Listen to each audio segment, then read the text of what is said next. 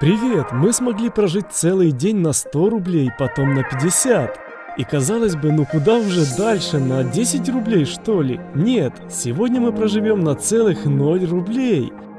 Денег нет, кушать куки не вариант, а Степа маленький, сильно не наешься. Надо выходить из дома. Рядом был парк, в котором дети кормили голубей. Голуби большие, упитанные такие.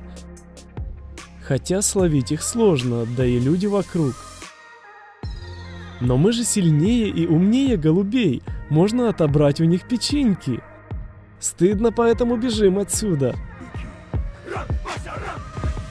Возле фонтана мы заметили не менее хитрую сороку. Она ходила по краю и высматривала в воде лягушек.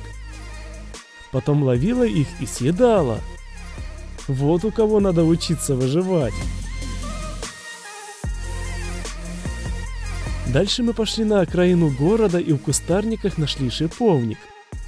Собираем и кладем в кармашек. Сразу рядом были ягоды калины. Все берем, все пригодится. Потом мы наткнулись на крапиву. Она колючая, но съедобная. Срываем только молодые вершки. Они самые нежные и вкусные. У дороги часто растет лопух. Наверное, все его знают. Нужно нарвать этих листьев и оставить себе только их стебели. Пройдя чуть дальше, мы наткнулись на ничейную яблоню, под которой была куча опавших яблок. Было видно, что они никому не нужны. Но нам-то они нужны как никому другому. Заодно сорвали ветку знакомого нам зверобоя. Мы знали, что недалеко расположено поле, а на поле всегда растет какая-то еда. Это было поле с подсолнухами, которые уже были собраны комбайном, остались только палки без шляпок. Но среди палок затаилась одна уцелевшая шляпка с семенами. Ура, семечки пригодятся, ведь они очень питательны. В нескольких метрах лежала еще одна шляпа побольше. Потом мы нашли еще и еще. Это джекпот! Жажда халявы приказывала нам собрать целый пакет подсолнухов. В один момент над нами начала пролетать стая уток. Это было знаком того, что они куда-то летят, и что нам пора домой готовить завтрак. По дороге назад мы прихватили ромашку, и у нас получился отличный набор для приготовления чая – чтобы сэкономить время, мы сразу заварим литровую банку, которой хватит на целый день.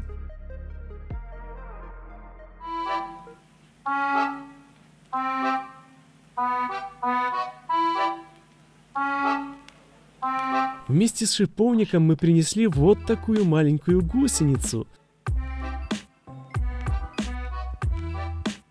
Это хоть и мясо, но его очень мало – Посмотрите, как в ней пульсует что-то. Кушать мы ее не будем. Все, переходим к готовке. Нам понадобится крапива и стебели лопуха. Нужно перебрать крапиву, оставив только самые лучшие ветки.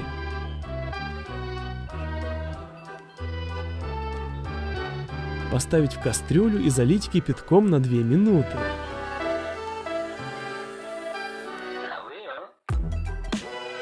После чего слить воду и отжать листья.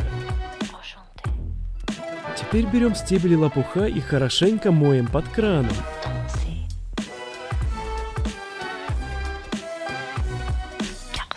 Некрасивые концы надо удалить и порезать все остальное на примерно вот такие кусочки.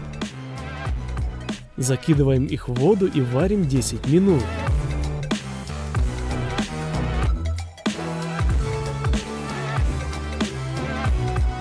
Возвращаемся к крапиве и режем ее на мелкие кусочки.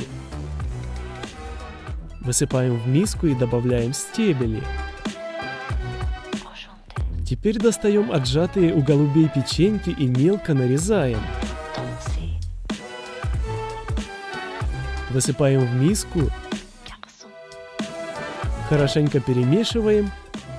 И получаем вот такой салат «Цезарь» на минималках. Нальем чайку и завтрак готов.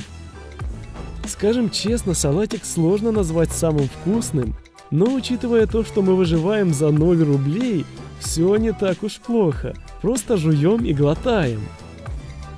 Теперь нам нужно готовиться к обеду. Выламываем на улице длинную палку и, вспоминая наше видео о самодельной удочке, запиливаем себе шикарную удочку и, накопав червей, идем ловить рыбу на какой-то водоем. Удача улыбнулась нам и за несколько часов удалось словить целых две рыбки, хоть и небольших, но нам хватит. С собой мы взяли небольшую лопатку, и нам опять надо искать лопухи. Но на этот раз мы будем умнее, не будем кушать вершки, а выкапываем корешки. Копать надо глубоко, ибо корень длинный и надо его вытащить полностью. Отрезаем листья и тащим все домой. Нам понадобится два корня, которые нужно помыть. Один корешок откладываем, а второй надо почистить. После чего нарезать кусочками и бросить в воду, так как на воздухе они начинают чернеть. Теперь берем рыбу, хорошенько очищаем от всего ненужного и ставим вариться корень лопуха. Вода немножко пожелтеет, но это не страшно. Через 5 минут добавляем рыбку и пару колечек стебелей. Если у вас нормальные соседи, то можете попросить у них немножко соли. Так будет вкуснее. Через 10 минут наш обед готов. Уха получилась очень даже съедобной. А сама рыбка вообще супер. После обеда достаем подсолнухи. На них много семян, которые придется извлекать вручную. Если приловчиться, то дело пойдет быстрее. В итоге мы получили целую кучу семян, но есть проблема. Они перемешаны со всяким мусором, и его нужно как-то отделить. Мы попытались автоматизировать процесс отделения семян от мусора. Мусор гораздо легче семян, поэтому он легко сбивается потоком воздуха и летит в дальнюю коробку. Семена же тяжелые и падают сразу вниз. Таким образом мы сэкономили кучу времени, ибо перебирание всего этого вручную могло бы занять несколько часов. Теперь берем сковороду и прожариваем семена. Так они станут более вкусными и будут легко очищаться. Степа учуял семечки и взял немножко себе. Получается, мы еще и хомяка кормим. В общем, семечек получилось столько, что хватит надолго. Добавив яблочко, можно пощелкать и перекусить после обеда. Куки, ты-то семена точно не будешь кушать. Теперь берем вторую рыбу, хорошенько солим и делаем небольшие надрезы. Дальше берем яблоко и вырезаем из него середину.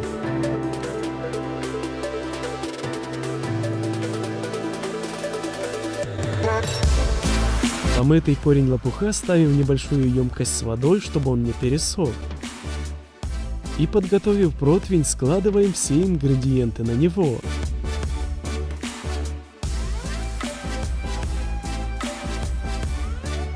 Теперь прогреваем духовку и ставим все это запекаться примерно на полчаса.